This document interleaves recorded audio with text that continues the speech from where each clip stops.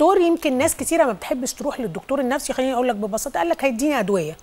ما هو هيديني أدوية آه، وهيدي بنتي ده بنتي صغيرة. هتبتدي تاخد أدوية مضادات اكتئاب أو أدوية تخليها كده مش يعني مش كويسة. لا أنا مش عايزة بنتي أو ابني. وأنا هنا بتكلم على الفئة العمرية دي قبل الفئة العمرية يعني هنا عشان هذه هذا المثال. هنا بقى ال- الأدوية هل لازم مريض الاكتئاب ياخد أدوية؟ وهل الأدوية دي ممكن يبطلها؟ ولا الأدوية دي دائمه وتصبح إدمان؟ تمام. حضرتك لمستي نقطة مهمة جدا. هي ما نطلق عليه الوصمة. السمعة السيئة للمرض النفسي ولا العلاج النفسي؟ لا هو ما بقاش في. سمعة سيئة بتاعي الناس كلها خلاص بقت بتروح للدكتور النفساني. مش للدرجة دي برضو. لازال هناك انطباع كده صورة ذهنية سيئة إن المرض النفسي ده وكأنه جنون. أو كأني شخص ضعيف أو إن أنا إيماني قل. الأفكار السلبية دي بتأخر جدا اللجوء للمرض للطبيب النفسي أو للمتخصص عامة. السن الصغيرة هل كل مريض اكتئاب محتاج دواء؟ لأ. زي مرض ضغط الدم هل كل واحد ضغطه عالي بياخد دواء ضغط؟ لأ.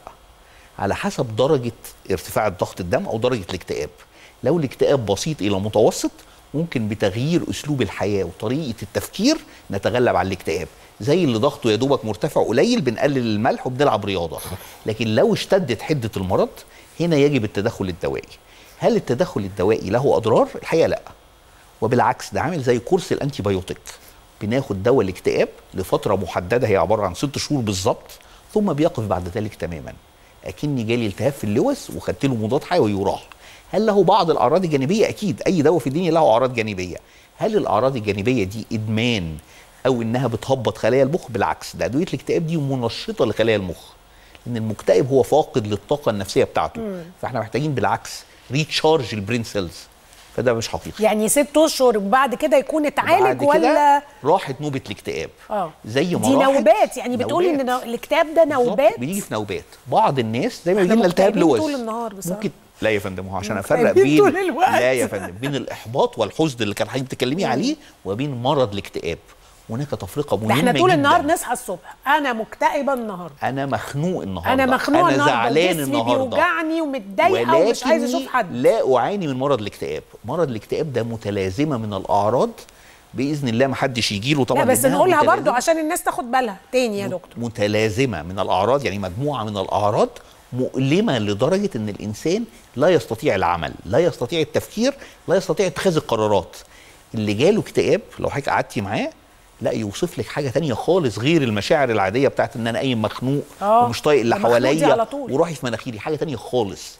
أهم ما يميزها فقدان الطاقة العقلية. مش قادر أعمل حاجة. لو أنا وحضرتك قاعدين كده أنا مش قادر أطلع الكلام من بقي.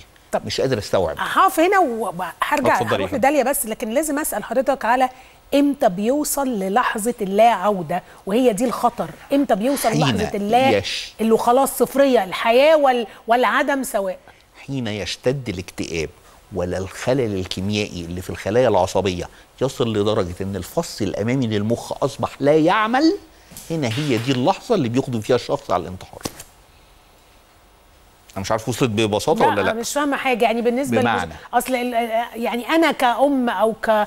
كأخت أو كصديقة يعني البنت صديقة البنت دي أكيد ما كانش حاسة إنه صاحبتها عندها هذا الاكتئاب واصلة لهذا الاكتئاب اللي يخليها تنط بتنط من ال... نعرف منين؟ إيه العلامات اللي ممكن نشوفها اللي تقول للإنسان اللي قدامي ده ربما يقدم على الانتحار؟ رقم واحد بطل يتكلم معايا. رقم اتنين ساعات في وسط كلامه يقول لك ده الموت أفضل من الحياة. رقم ثلاثة ألاقيه ابتدى يبقى أفكاره كلها سوداء الحياة زفت فكرة الناس اللي بتقول يا زفت. رب أموت دي كتير قوي يعني طول النهار. آه بس بس عادي. وهم بيقول يا رب أموت مش ما باكلش وما بشربش وما بنامش وما بتحركش ومتألم طول النهار. عشان كده بقول لحضرتك هي مجموعة من الأعراض مع بعض. لكن لما الأعراض دي تصل إلى إن أصبح الشخص اللي قدامي شايف الحياة سودة وشايف نفسه أسود وشايف المستقبل مظلم دي اللحظة اللي فعلا لازم أكون عارف إن ربما ينتحر. بس من رحمة ربنا عشان أكون أمين يعني التدخل في هذه اللحظة يحمي حياته ويمنع الانتحار تماما.